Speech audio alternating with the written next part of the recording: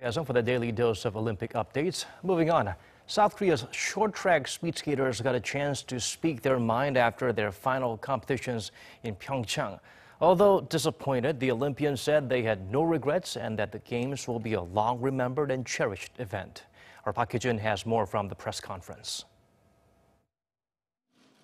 South Korea's female short track speed skaters are leaving the Pyeongchang Olympics with no regrets. In a press conference held at the Korean House inside Gangneung Olympic Park on Friday, the skaters displayed strong team unity and spirit. They said that competing at the Winter Games helped them grow into stronger players. At first, I was focused on winning a medal, but later on, I began wanting to be able to enjoy competing in the Games. I think I was able to compete without leaving any regrets. It was a great experience for me. The results were not all they had hoped for, especially in the women's 1,000 meter short track speed skating match on Thursday. The collision between Choi Min-jeong and Shim Seok-hee kept the two medal hopefuls from finishing in the top three, but they said it's all just part of competing in sports, and that it's merely water under the bridge. And all things considered, it was a memorable event that they were able to enjoy.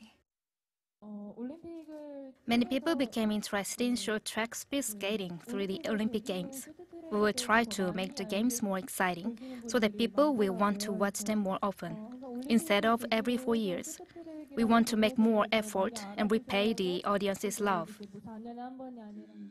Earlier the same day, another press conference was held for the men's short track team who expressed similar emotions of both regret and relief.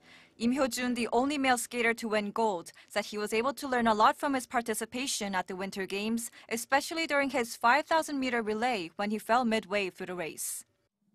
I feel bad about the mistake, but it's going to help me make sure not to repeat the same mistake in the future. South Korean short track speed skaters won a total of six medals, including three golds. After enjoying a break, they'll get back to training to prepare for next year's World Championships. 박희준, 아리랑 뉴스.